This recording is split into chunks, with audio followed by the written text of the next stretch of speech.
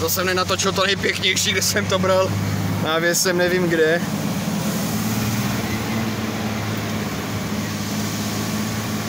Předek, terénní převod, zamčený zadek, na prostřední náprava.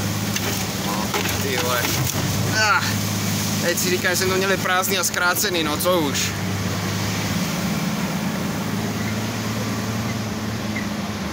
Ty vole, jsme tady jeli za sobákem, vůbec to nezdalo tak úzké.